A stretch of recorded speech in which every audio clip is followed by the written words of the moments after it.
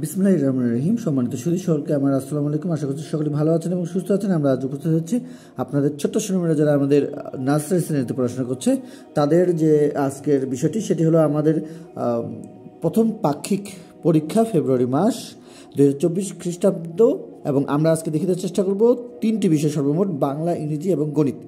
আমরা সুন্দরভাবে দেখতে পাচ্ছি যে আমাদের প্রশ্নটি যেখান থেকে নেওয়া হয়েছে, সেটি হলো delight international school Birganj Dinajpur.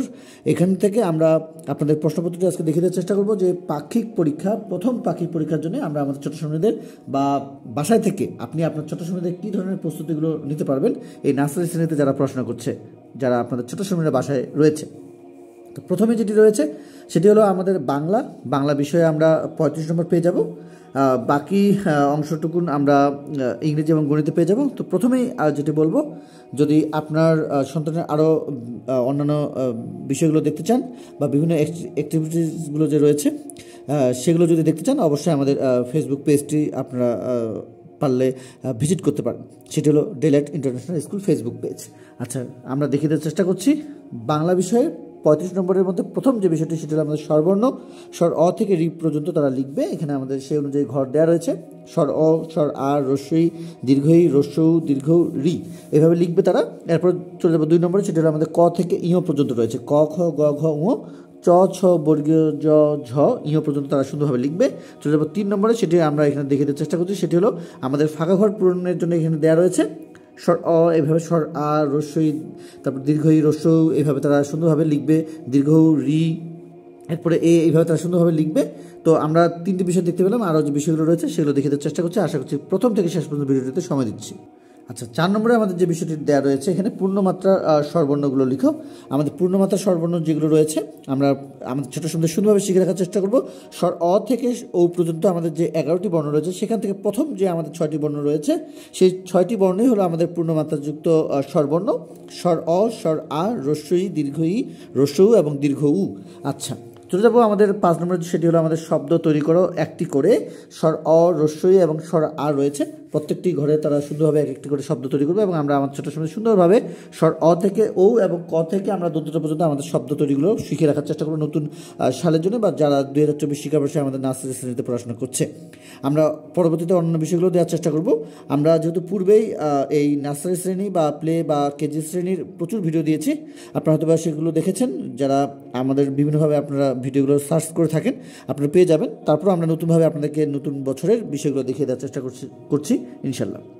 তো ছয় নম্বর যেটি দেওয়া রয়েছে, হাতের লেখার জন্য সুন্দরভাবে তারা যেন হাতের লেখাগুলোকে সুন্দরভাবে করতে পারে বা লিখতে পারে, তার জন্য আমাদের এখানে নম্বর দেওয়া রয়েছে।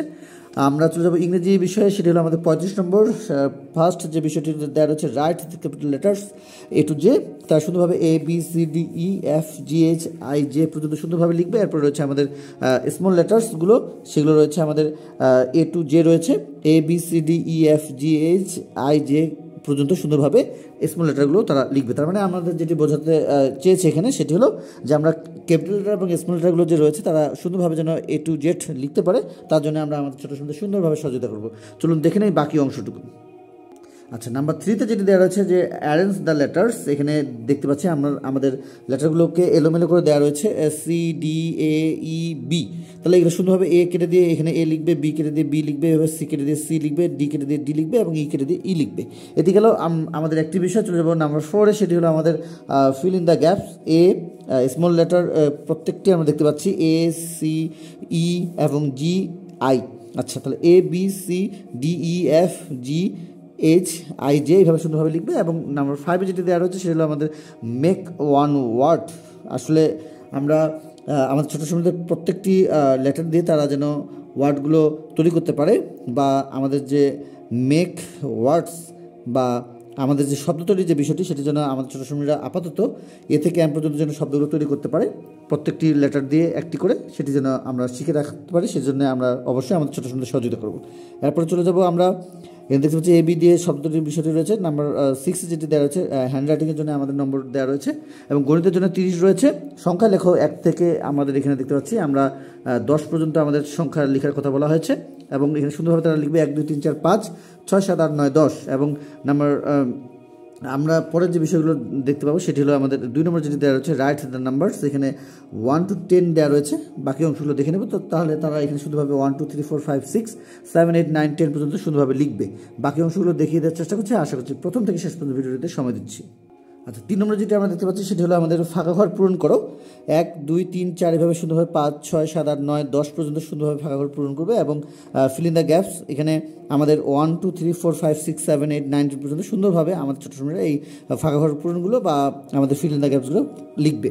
তো এই ছিল আমাদের ছোট্ট সময়ের যারা আমাদের নার্সারি শ্রেণীতে পড়াশোনা করছে, তাদের আজকের এই পাখিক পরীক্ষার আমরা প্রথম পাখিক পরীক্ষার একটি প্রশ্নপত্র যা কিনা আমাদের তিনটি বিষয় ছিল, বাংলা ইংরেজি গণিত, তিনটি বিষয় থেকে আপনাদেরকে দেখে দেওয়ার চেষ্টা করছিলাম আজকের এই আলোচনায়। আশা করছি প্রথম থেকে শেষ পর্যন্ত ভিডিওটিতে সময় দিয়েছি। যারা আমাদের অন্যান্য বিষয়গুলো দেখতে চান, অবশ্যই আমাদের চ্যানেলটির সঙ্গে থাকবেন। তো আজকে এই পর্যন্ত সকলে সুস্বাস্থ্য কামনা করে, আপনাদের ছোটো সময় সুস্বাস্থ্য কামনা করে আজকে আমরা বিদায় নিচ্ছি। খোদা হাফেজ।